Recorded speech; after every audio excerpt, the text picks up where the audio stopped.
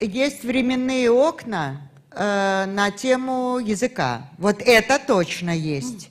Если уже три года и ребенок не говорит, то это не значит, что надо топиться всем идти, но это точно основание для того, чтобы заволноваться. И идти э, к специалистам, которые как минимум проверят, хорошо ли он слышит, например. Вот это, кстати, меня ужасно удивило. Мне рассказывают люди из Института уха, горла, носа и речи, где отдел mm-hmm. есть этот речевой. Ну, это мои коллеги и все это. Я даже склонна была не верить, но, разумеется, не верить нельзя.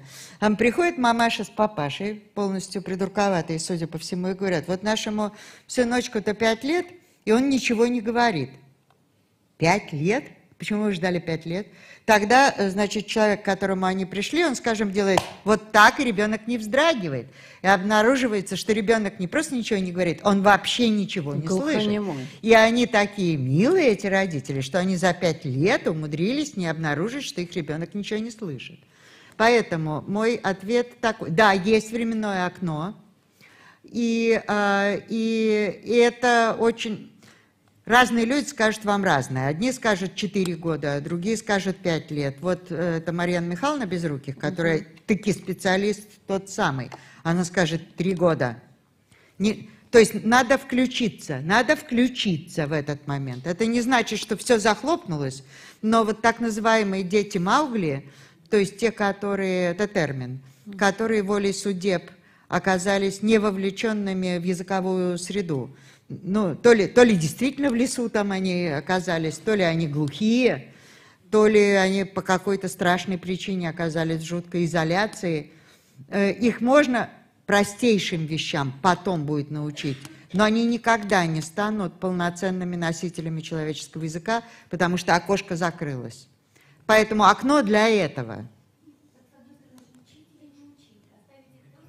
Учить чему? Языку? Эм, э, Языку ребенок учится сам, мы не учим ребенка языку.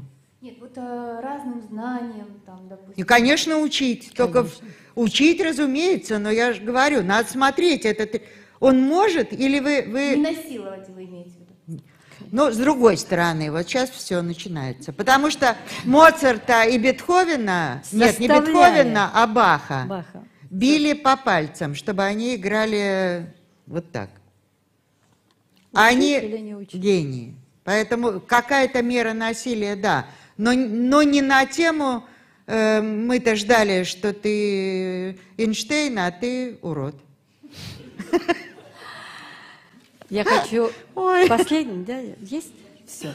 Я хочу э, поблагодарить от вашего имени, от своего имени. Огромное спасибо, Татьяна Владимировна. Спасибо, мне приятно вас... поговорить. Да. да спасибо. Кроме того, у вас очень э, лица хорошие.